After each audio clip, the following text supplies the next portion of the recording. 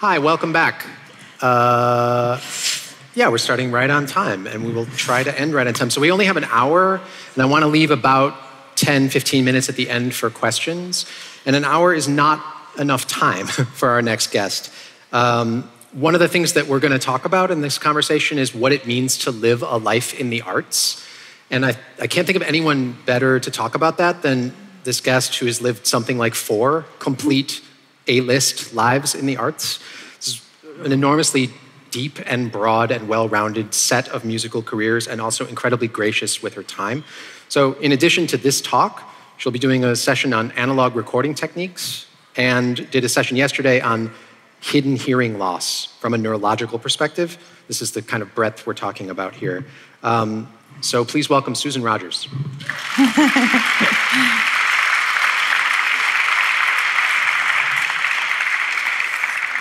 Welcome. Thank you, Dennis. It's really nice to be here. Thank you all in advance for attending.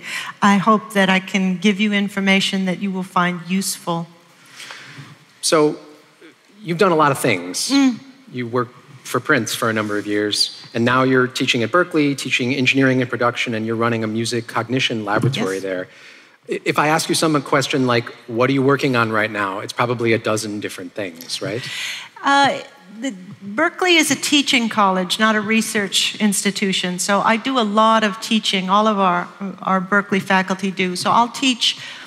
Typically, I teach advanced production techniques, record production. I teach the analog tape class because the kids love it. Uh, the people are demanding it. Uh, I teach music cognition, which is the study of your brain on music. It's the study of music and emotions, music and personality. Like, why do certain personality types get attracted to certain kinds of music? Um, it includes music and memory, music and evolution, music and development, and then basic pitch perception, timbre perception.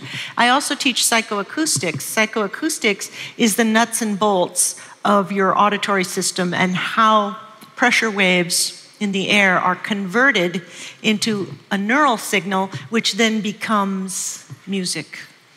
Uh, so it's a wide variety.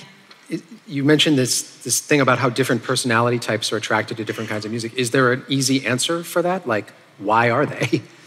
There's not an easy answer, and it's not my area of research, but I read the research that's out there and I interpret it in class. I think that's what all scientists do. Essentially, the music that we like is driven by our it's really driven by our genes as well as our environment. So, gene expression gives rise to certain personality traits, and that's inherited and it's relatively stable throughout your lifetime.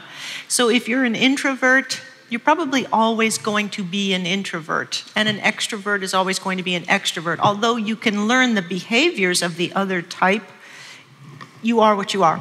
So, personality types uh, include whether you're liberal or conservative, whether you're a risk taker or you're, uh, you like to play it safe, whether you like to go along with the crowd or whether you like to be alone. So, that influences the kind of music you like because it influences the kind of music listening experience you want to have.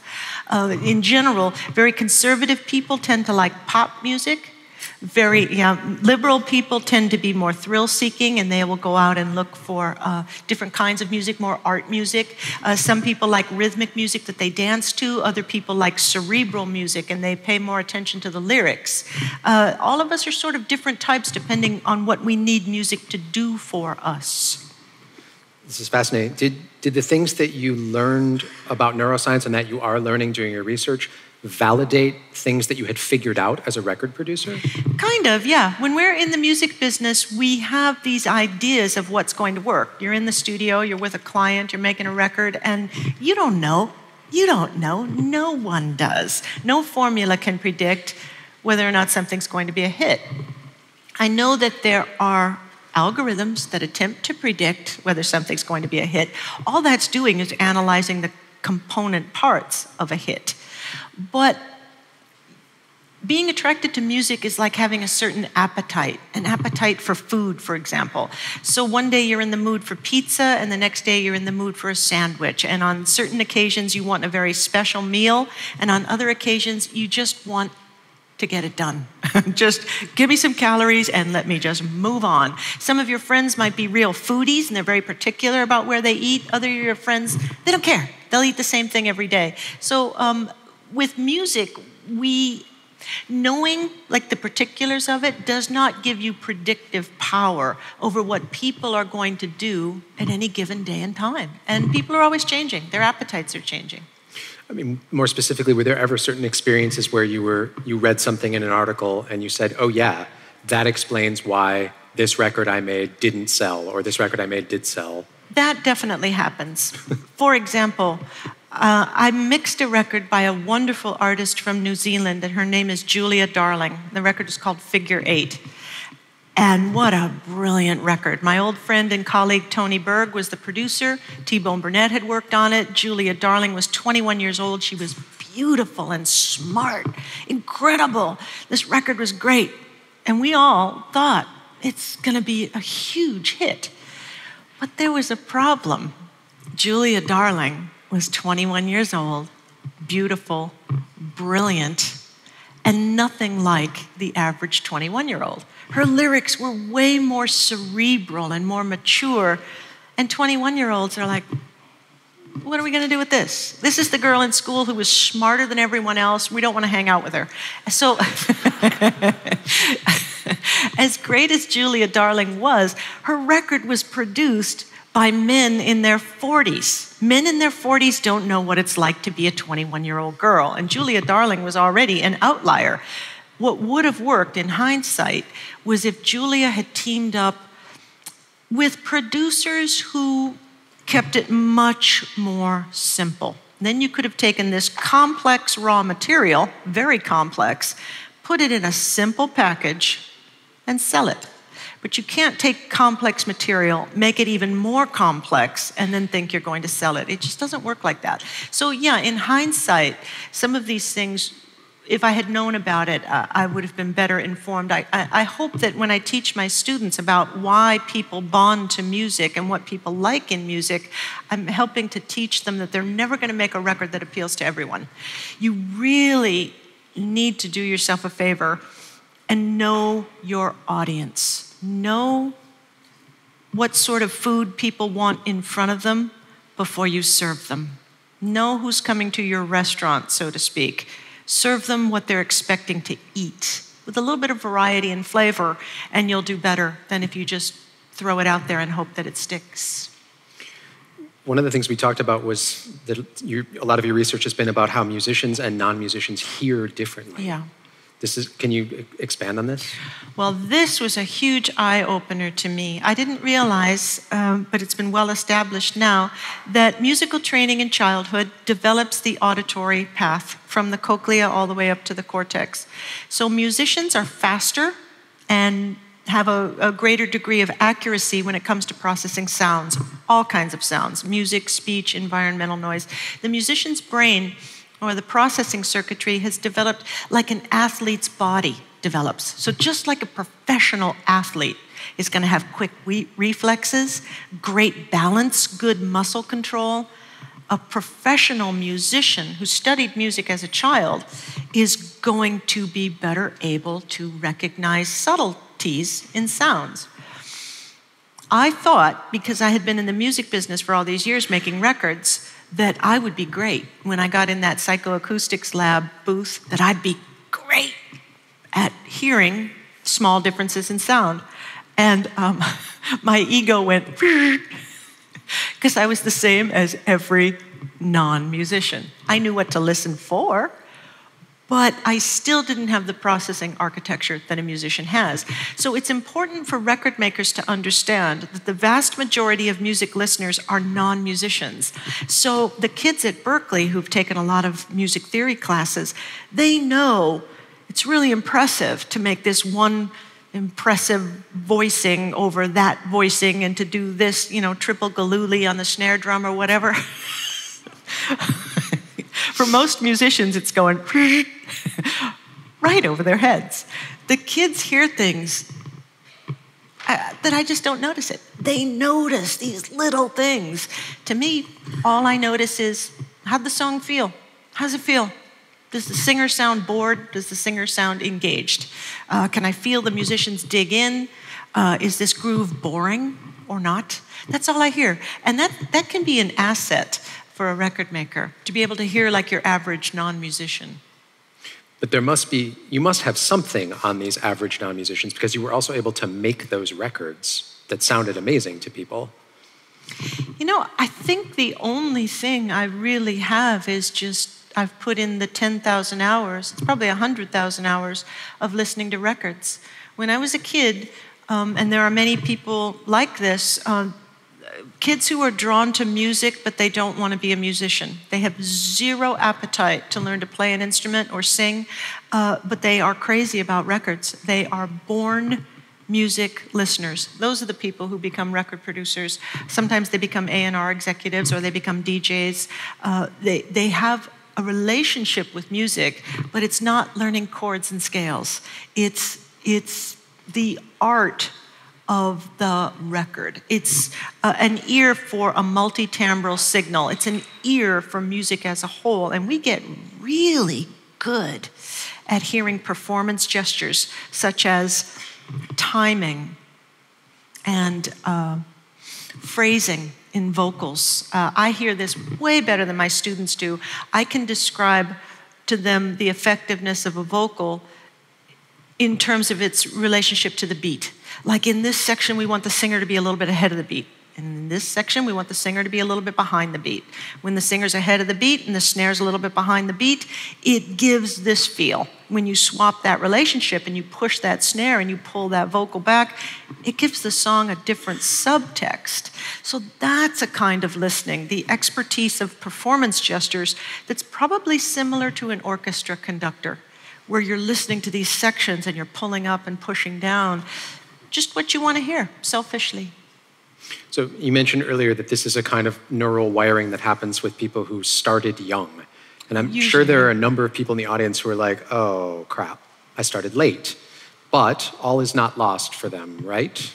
Yeah, that's true. So, what we're talking about when we talk about the musician's brain in the sciences, we're talking about someone who started formal musical training, not just playing around on the piano by ear, but formal musical training, practice with isolated pitches, chords, scales, and just, you know, running through the rudiments, starting before the age of about 14 and continuing for about five years or more. So I had a couple of piano lessons when I was a kid for a few years. It never took. In order to get the brain changes, the morphological changes that happen in the musician's brain. You need to have started young and to have kept going for a long time. But science tends to group people according to exemplars.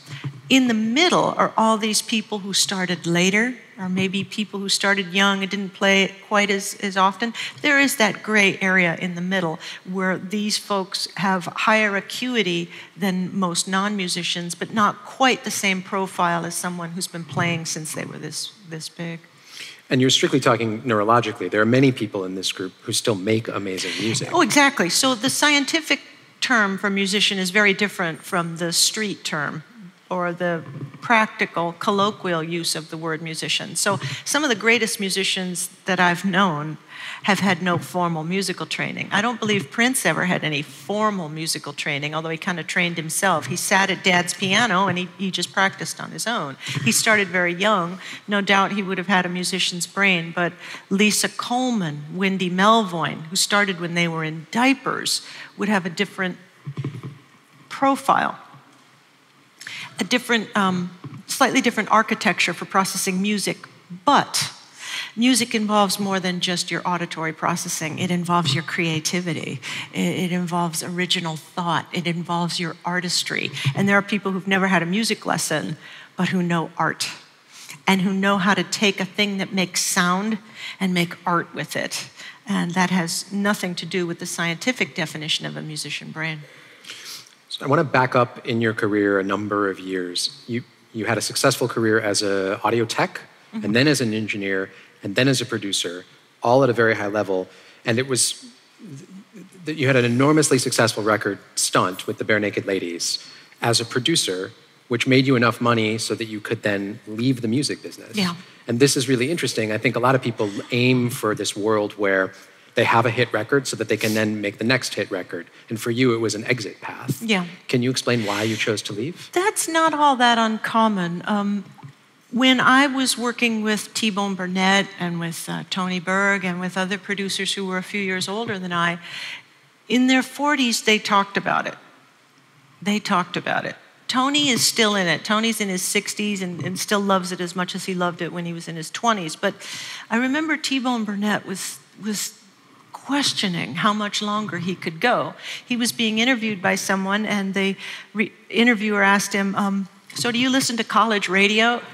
This was years ago, and he goes, No, I'm 47 years old. There'd be something wrong with me if I listened to college radio. so, when you're in your 40s, you might start to feel it. I just hung out recently with the producer Greg Wells, and Greg Wells has been, you know, he's been successful for 25, 30 years.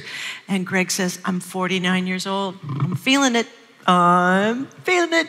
And what you're feeling is that you're young enough to want to do new things and you're old enough that you've had some success. So you're asking yourself, what else could I do that would scratch my itches creatively? Uh, and that's, that's where I was. I was, I was approaching my mid 40s and I was recognizing I've kind of done all this and I really like it, but I've also dreamed about having a life as a scientist and I think I'd like to give that a shot. And then I, I just happened to have this hit record that made it possible. Financially possible. Financially possible, yeah. So if it hadn't been for that, you'd still be making records to make a living.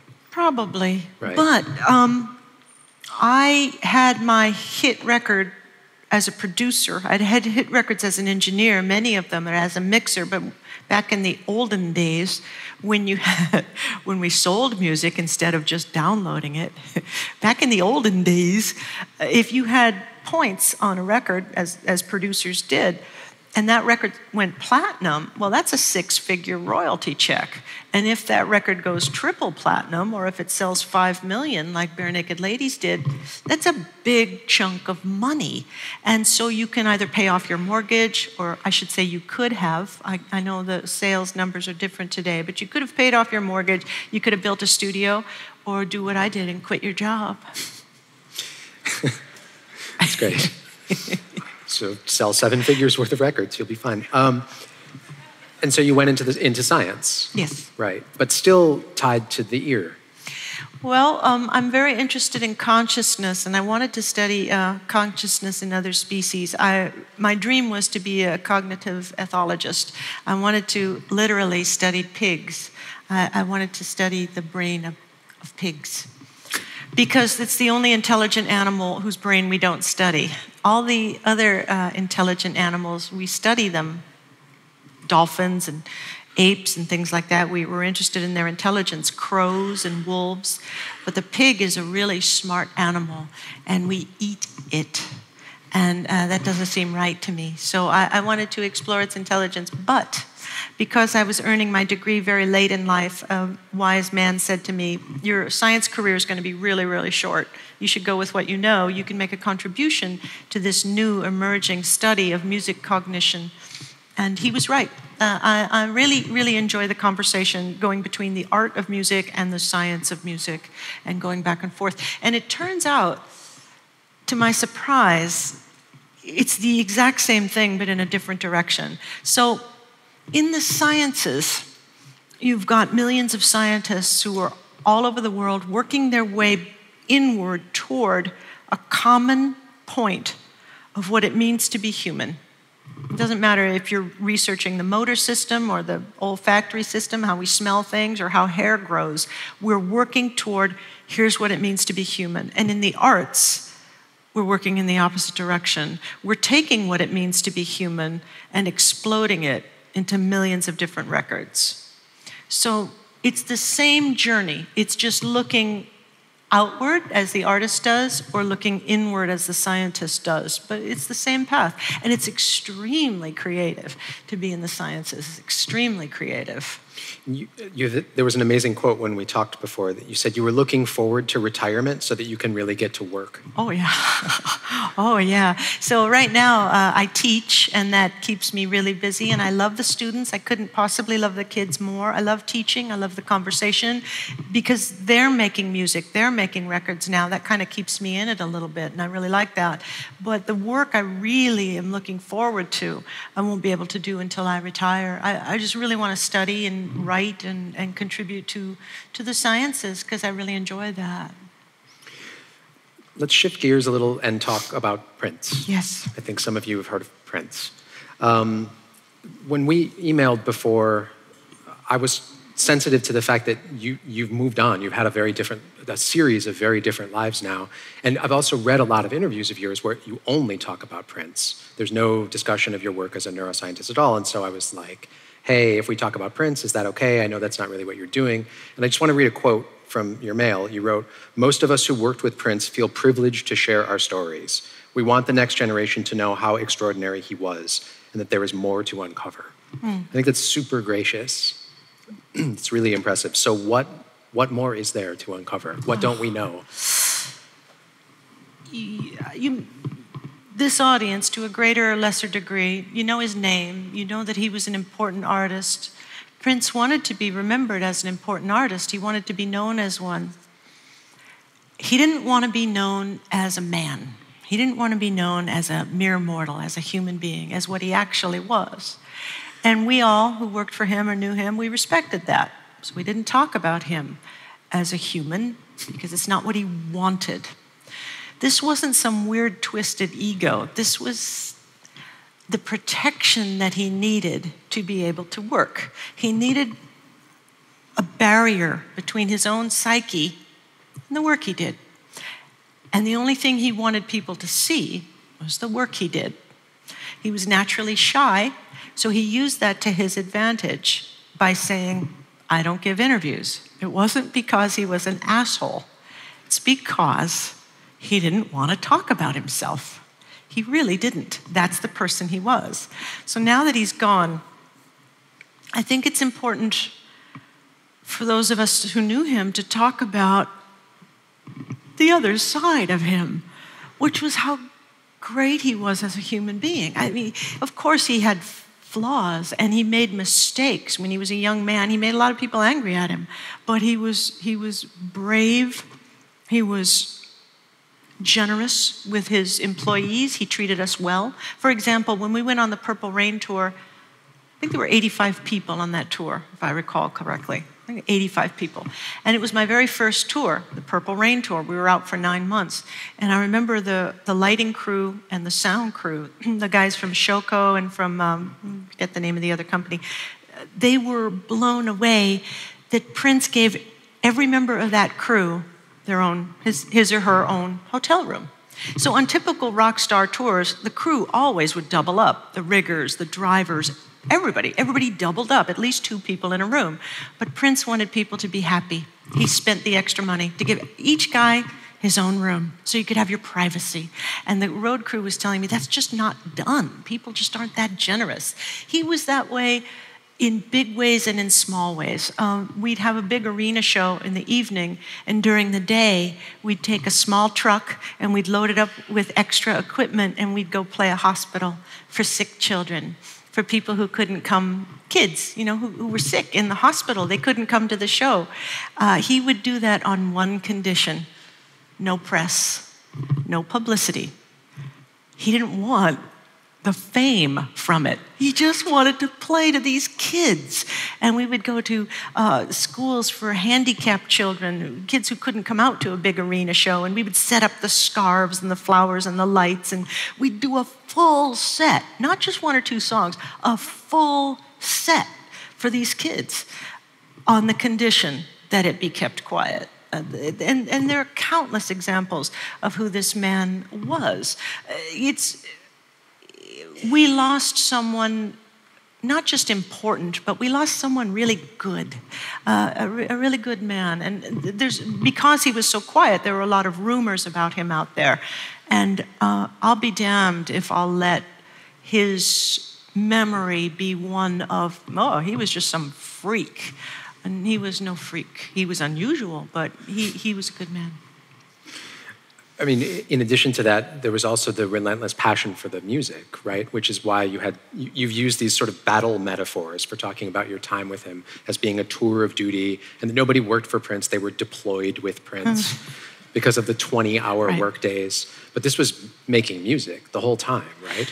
Yeah, if he was awake and not on a date, which and those dates were pretty short, uh,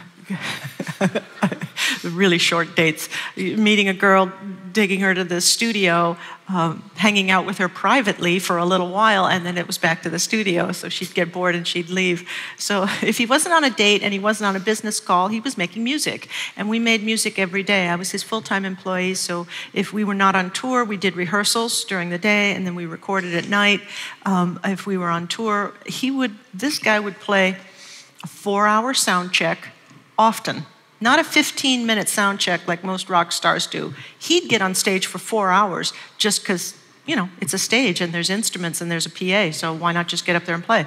Play for hours, take the mandatory dinner break while they have doors, the audience comes in, and this is like in a, you know, 14,000 seat arena, play a two and a half hour show, and then he'd get off the stage close to midnight and now it's time for the night to begin. We would either go to an after party and he would play the after party till the sun came up, or we would go to a recording studio and we would record all night until the last possible minute when we had to get on a plane or on a bus to go to the next city. You sleep on the plane, you sleep on the bus, you get to the next city, you get on stage and you start sound check all over again. That's what we did. That was normal life. If you're awake, you're making music. And I think he felt like, I'm young, I, I have a record deal.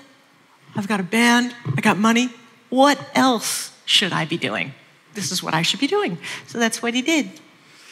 Um, is it the, was it the case that he had to work because he knew that he had a limited amount of time at his creative peak, or was it the case that all the music was there and he had only a limited amount of time to get it out? I don't know. I, he, he had the strongest work ethic of any musician I've ever known. And I've known a lot because I've been in this business since 1978. So that's almost 40 years now. I've never known anyone who had a stronger work ethic. I think he felt obligated to use the opportunity that he'd been given. He got signed to a record deal when he was like 18 or 19, something like that. He was really young. You're a teenager from North Minneapolis who grew up in a poor family, who got kicked out of your home when you were 14 years old and you have to go live with your friend. I mean, if you find yourself with a record deal, you're going to make the most of that deal for as long as you can. And his brain was, uh, he was so creative and he was so gifted musically that he could do a lot over a long period of time. And that was actually, it was his extraordinary strength, but it was also a weakness. He would have made more creative art had he slowed down a little bit, had he worked with others. He never had a producer, he always produced himself if he had um, been willing to compromise with other musical minds, his mu- music might have been more nuanced or more varied. It wasn't. He was what he was. And he also played everything on those records, right? He played everything except the horns. Yeah, the he would program the drum machine or he'd play the acoustic drums, starting with just that one instrument, and then he'd come in and I'd hand him the bass and he'd play the bass, and he'd put that down, and then he'd either go to the keys or he'd pick up the guitar. He'd play all the parts, do the vocals, because this was analog tape, so he'd sing his lead vocals, sing his backing vocals, add the final stuff. I'd be mixing it as the song was coming together, and usually a day later, um, it would be done. The song would be done, we'd print it, and then we'd move on to another song. You had some examples that you wanted to play. Yeah, um, I put a few things on a playlist. You guys have all heard Prince songs, but I wanted to um, just show you a couple examples of the kind of musical aptitude we're talking about. When you're in the studio with someone who can play that well, that means they can play for a long time without running out of ideas or without running out of aptitude. So this is live. It's live uh, from First Avenue, the club in Minneapolis. It was his birthday show, June 7th, 1984. It's just the intro to Erotic City, but listen to him on guitar. Let's just, just listen to him on guitar. This is live. It's just a board mix.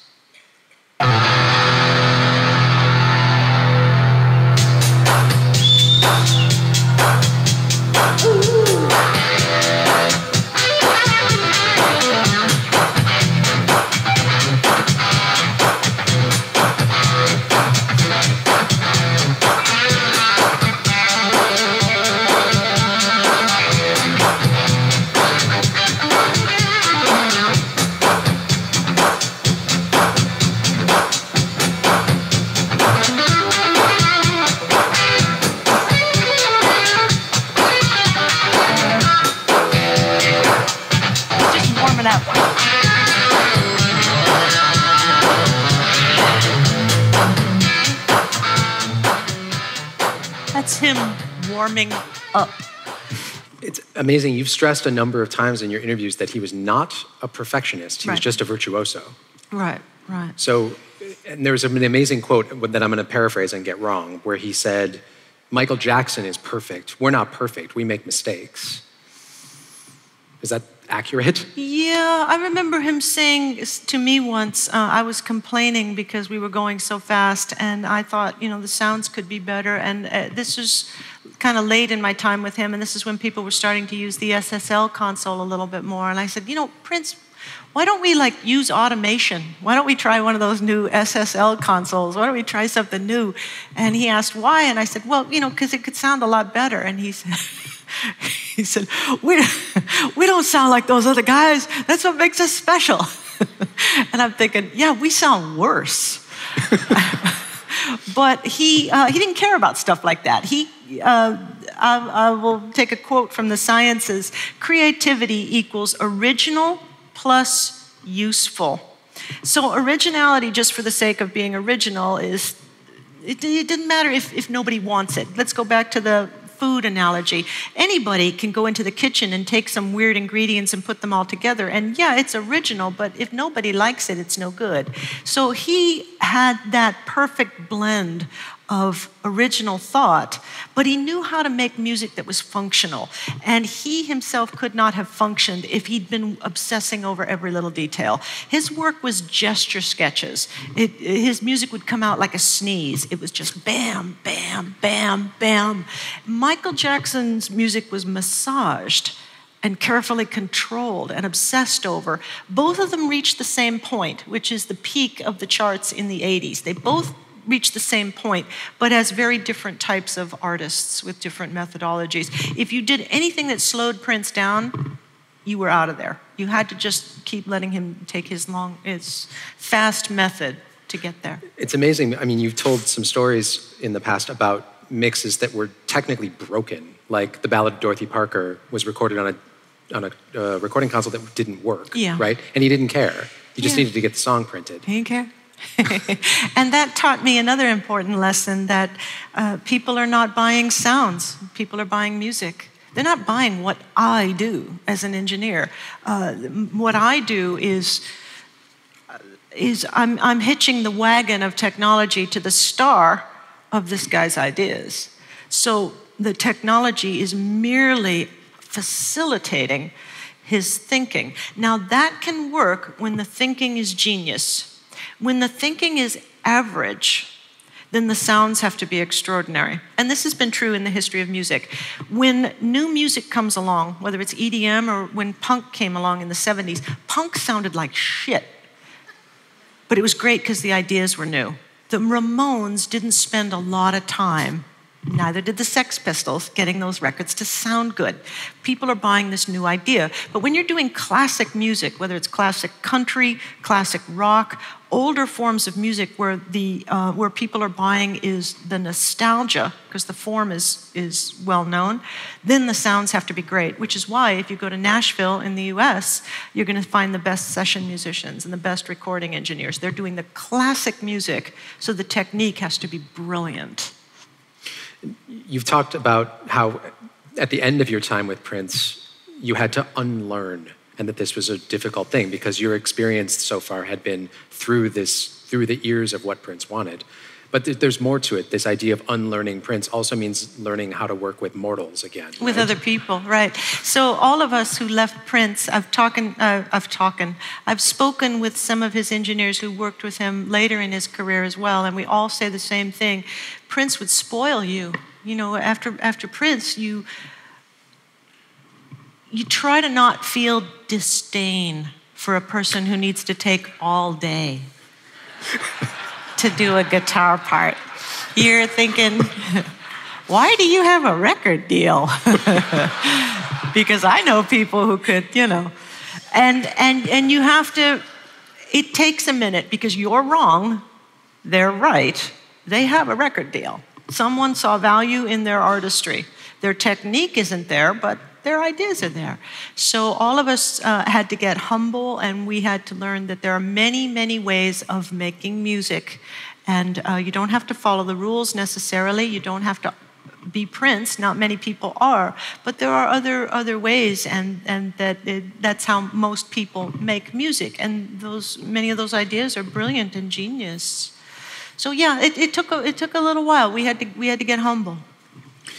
And and then you talk a, a, bit about how you you're sort of reopening your eyes. The real learning that you had was after Prince with this band Geggy Tah. Yeah. Um, after I left Prince, because I was so used to how he and I made records, I didn't know how to make records with other people. I had never been an assistant engineer. I started my career as an audio technician, repairing consoles and tape machines. So. Um, I didn't know how to engineer the way other people engineered and people would hire me to mix records and i did okay but the only sounds i really knew were prince sounds and i, I was really i would have been in trouble if i hadn't done something um, quick i recognized that what i needed to learn was something about music that i didn't know and then one day i was in the offices of uh, Kevin Lafferty was his name. He was an A&R man at uh, Warner Brothers Records, and he played me a cassette by a duo named Geggy Tah, and it blew me away. And I recognized whatever it is these guys know about music, that's it. That's the thing I need to know. Uh, Geggy Tah, er, they were signed to David Byrne's Luaka Bop label. The Geggy stood for Greg Kurstin, who uh, is the world's hottest producer right now. Greg just did the last Adele record and got the Grammy for Producer of the Year and Record of the Year and Song of the Year and, and all that. And Greg just did the new Foo Fighters record and Beck and he, he, he, he's, his career's on fire. So that was the Geggy. And then Tah was Tommy Jordan. Uh, Tommy Jordan has been called one of the five most creative people in the music business. And those two guys combined taught me something about music that I didn't know. And it, it blew my mind. And thanks to what I learned from those guys, I was able to have a career. Thanks to those guys. What did you learn? Because I think we'd like to know yeah, how to have a career. Uh, Tommy, Tommy, uh, Tommy had uh, he was a he was a composition major at Oberlin. Greg studied jazz piano at the New School in New York. When they came together, Greg was really young. He was like 22, 23. Tommy was about five years older. And Tommy said it best. Tommy said, What Greg and I want to know is what music is. What it is. So they had all this training and they took all that training and all that craft. They went from, you know, being babies, being naive, they worked their way up to having all this training, and they turned around and walked back. Back to what it means to make music as a three year old, playing with, you know, a little xylophone or pots and pans. What it means to make music if you're 97 years old and you really want to dance you really want to sing, but your body doesn't work like that anymore. What it means to make music if you're a dog or a monkey. What it make, means to make music if you're tone deaf. Prior to Geggy Tah, they had a band called Koku, and Koku was a 10 piece band. It stood for Collaborating Cultures. A 10 piece band consisting of five great musicians Tommy Jordan, Greg Kurstin, John McKnight, Denny Moynihan, and um, forget who the last guy was, Richie somebody. five trained musicians, and five non musicians. And the rule was you couldn't come to a rehearsal until you'd played a gig with them. So you had to play a gig with them first as a non musician, then you could come to rehearsal. And if you came to rehearsal, then you could join the band. so they had a woman on stage, like with a typewriter and answering the phone, and they had a guy on stage with a, a, a bottle of water. They once brought a homeless guy in from the street because he wanted to sing along, so they brought the homeless guy in and they had him do lead vocals. they were interested in how music is an expression of life. They wanted to make music from life. And that taught me that's what music is it's an expression of life. And as Tommy put it, life is perfect and it's full of mistakes. It's clean and it's dirty. It smells sweet and it stinks. It is dressed up and it looks like a slob. And that's what music should be. It should have all of those elbows and mistakes and the dirt under its nails, and it should cause you to wrinkle your nose and go, uh, because that's what life is. Uh, and and once, once I got that from those guys, then I could take it from there. So I had learned uh, a lot about being. Making music at the highest level, the highest level of the pop charts with Prince. I had learned about making music at the gut bucket level of these two guys. And then from there, um, the fear goes away. That's when you realize, oh shit, this is easy. The making of music is easy. Selling it is another story altogether, but making music is not something that you look out there in the world to discover how to do. Music isn't something you pick off a tree like fruit. Your music has been growing in you your whole life. You don't look out there for it, you look in here.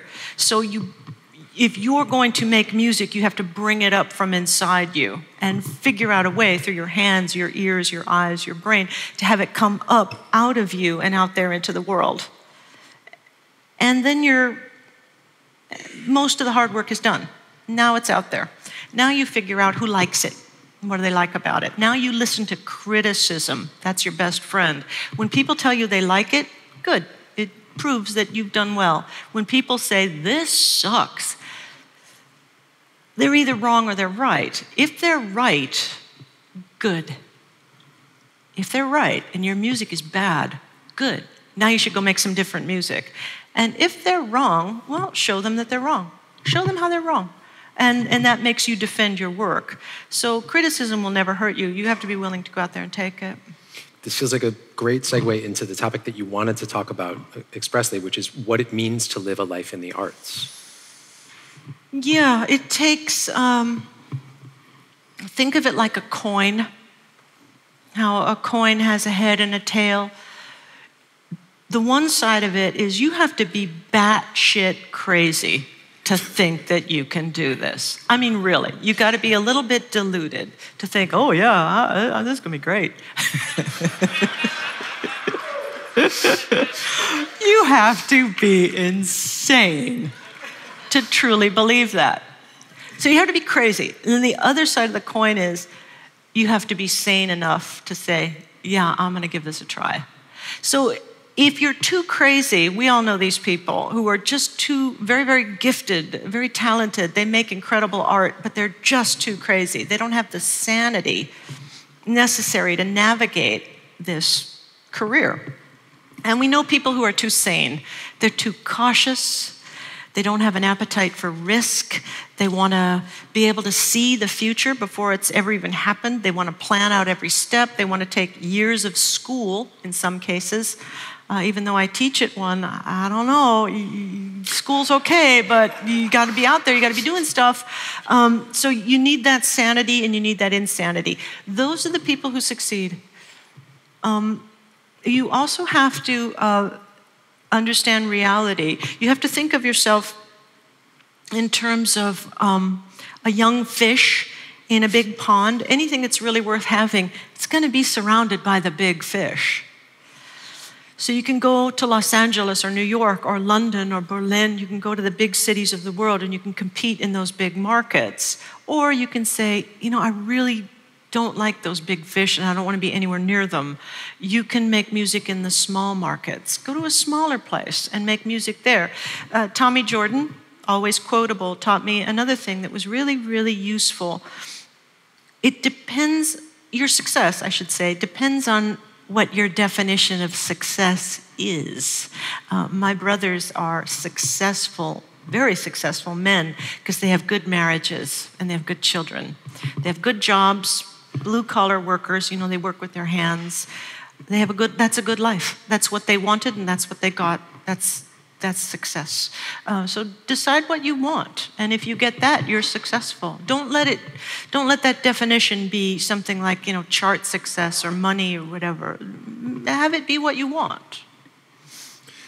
That's great. Thank you. I, I want to make sure that we give enough time over for questions. There should be some mics floating around. Anyone? There's one here, Francis.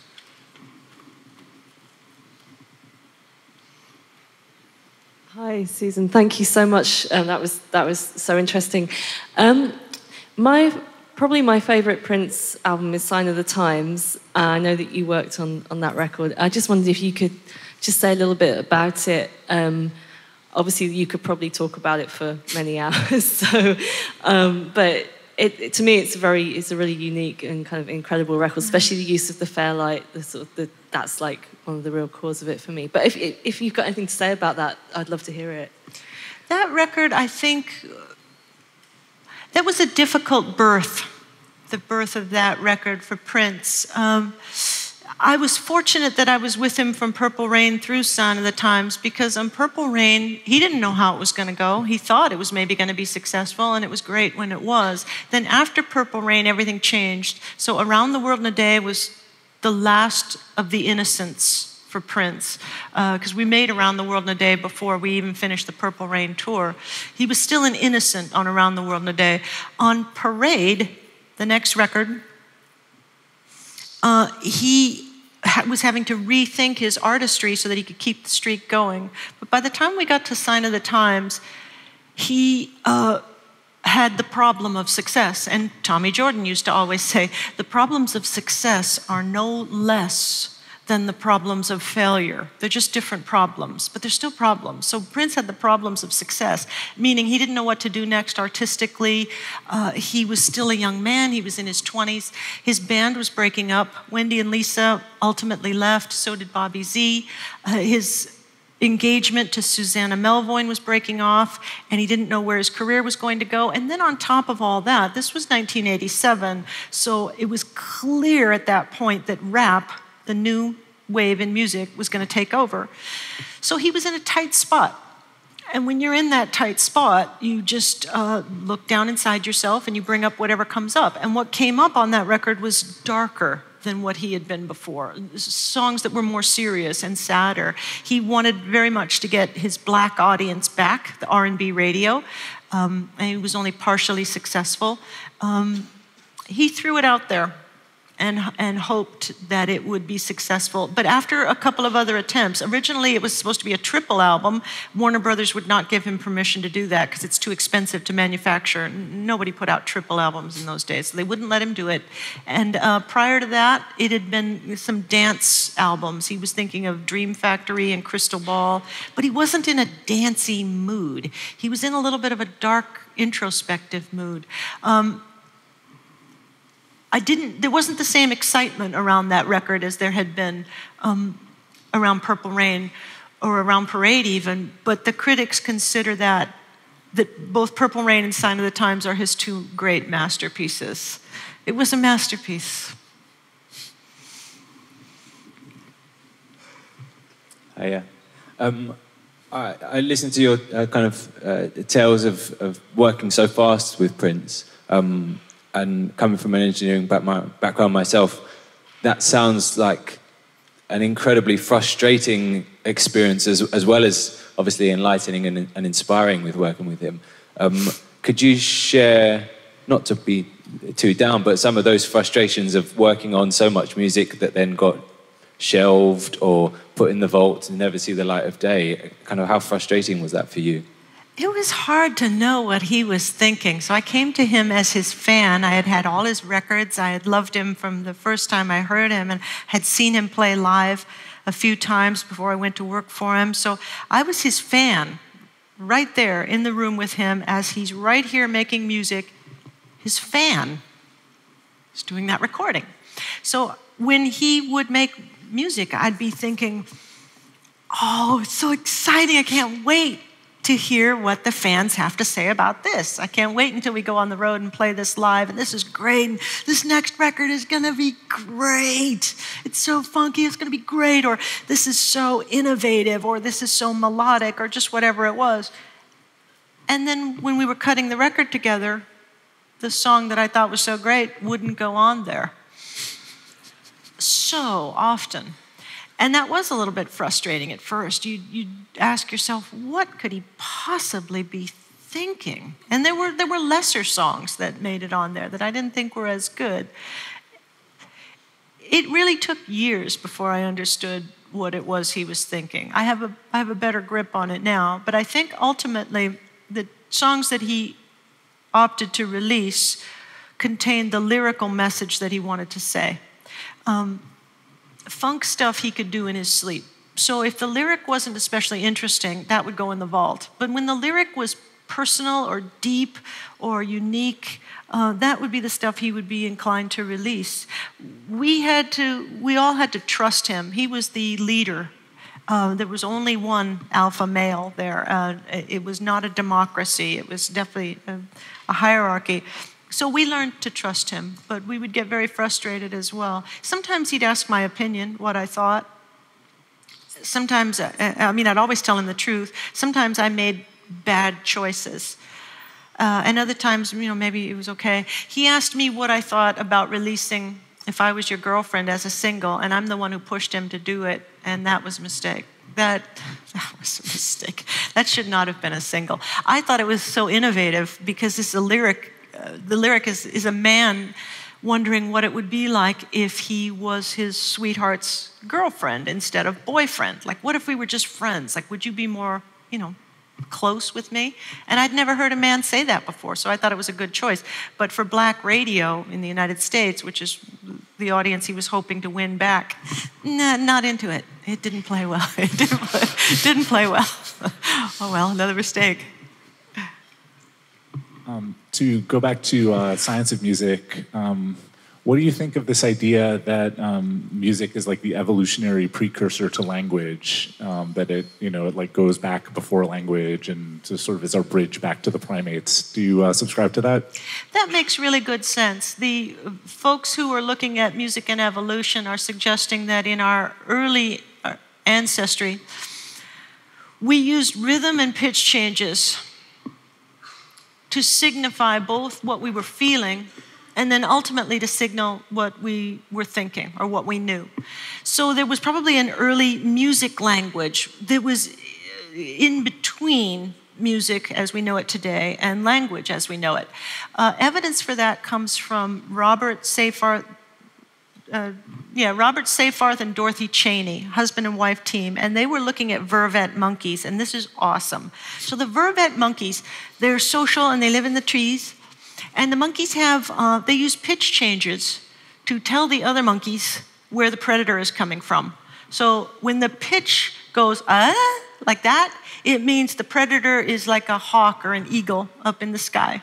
If the pitch change goes down, ah, it means the predator is down on the ground like a tiger. And if it just goes, goes ah, it means it's a snake coming through the trees. So the monkeys will be sitting in the trees, minding their own business, doing what they do. The lookout monkey sees a predator. He gives the pitch change. The other monkeys take off. What that means is that you have to have a mind that was evolved enough to know that that other monkey over there knows something that you don't know and you have to be smart enough to believe him.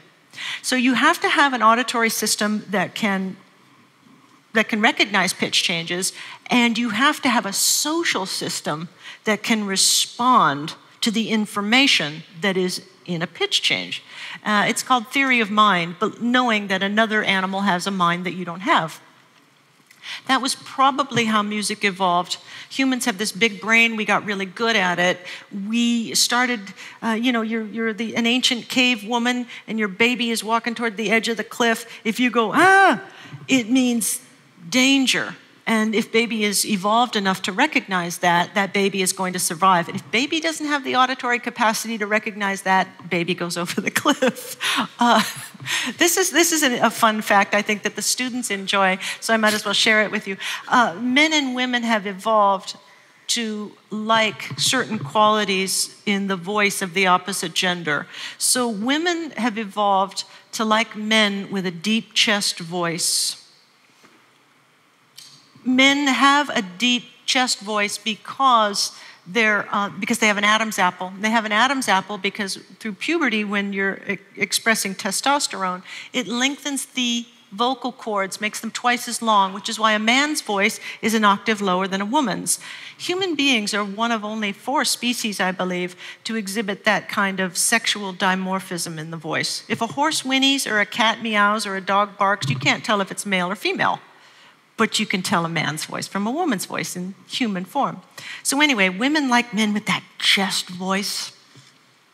Men like women with a soft, breathy voice. It's very soft. The reason is the man with the chest voice, the subtext is that he's powerful. He can suck in a full lung full of air and go out there and kill that mastodon and bring it home for supper. And the woman with the breathy voice can soothe your children and take care of them and help them fall asleep.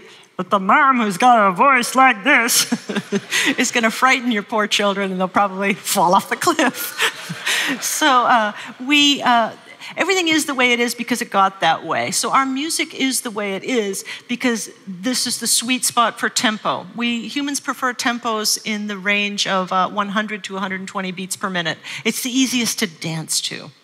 And we like our musical octaves, our melodies to have a, a certain pitch range, not too narrow, not too wide. Narrow melodies with uh, narrow interval changes sound angry very tight little minor seconds, minor thirds sound angry, those small ranges. But the big, broader interval ranges sound happy. Our music uh, is very much like our language. When people hear a new classical composition, um, brand new classical composition with much better than chance accuracy, they can identify the native language of the composer. They can say that piece of music was a German composer, that one was French, that one was English, that one was Italian. Because music kind of mimics the social cues that we put out there through our language. That's a long winded answer, but yeah. Thank you. Thank you. I'm super sad that we have to roll it up. Do we have time for one more? One more. Okay, one more. Hi, thank you for sharing so much. Um, I would like to thank you for encouraging If I Was Your Girlfriend, because I heard it reinterpreted by TLC ah. when I was under 10 years old, and that really inspired me to hear that song that way. But I have a question for you. You've made such strong decisions in your career, and um, I am also a woman producer, and I'm just wondering what are the things that you do in your life for your own mental fortitude um, that keep you powering through to make these strong decisions to really aid the blooming of other artists? Well, I have to be, um, I want to speak in real practical terms um, because I like, I worship the truth, and, I, and, and I, I'm always interested in knowing what the truth is. Um, so rather than saying that there's something special about me myself, I am more interested in what it means, you know, to be human. What is it about me that allowed me to be successful? And I am not inclined to say it was any of my personal traits. Things that I think assisted my success was, I'm going to be perfectly blunt here. I'm unmarried and I don't have children. A woman who is single and childless doesn't have anybody else that she has to take care of. I don't know how you do this if you've got children and you're a woman. Uh, society puts different demands on men and women and different expectations and different rewards for men and women. Women are rewarded for taking care of children. They're rewarded for keeping a good home and taking care of a husband. So, a woman that doesn't have that has got a lot of free time. So, I had that. The other thing I had going on is uh, I, I grew up in Southern California, so Los Angeles. It's the home of the music business. If you're a single woman, childless in Los Angeles, and you want to be in this business, race is on. You know, you, you can join the pack.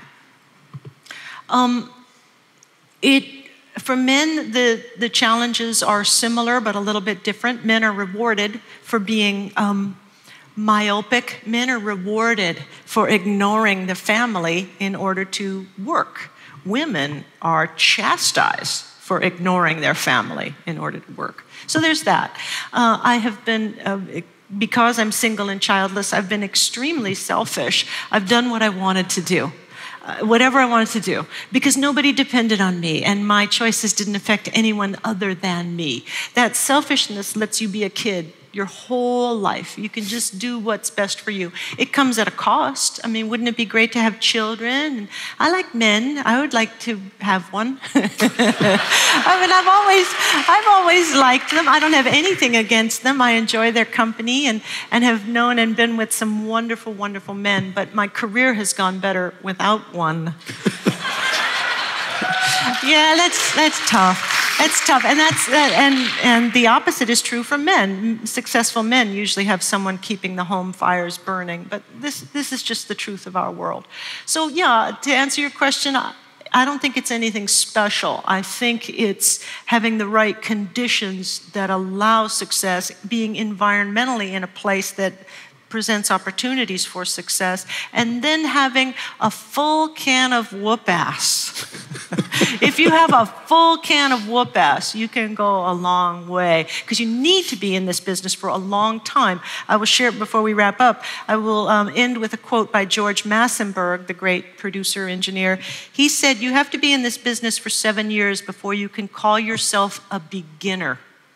That's not an exaggeration before you can call yourself a beginner. This is a long road. Uh, there isn't, the overnight success is not real. I'll, another quote is from Tommy Jordan slow growth is real growth. It takes time, so you have to be patient, you have to be willing to go the distance. I wish we had more time. Thank you so much, Susan Thank Rogers. you, Dennis. Thank you. Thank you. Thank you.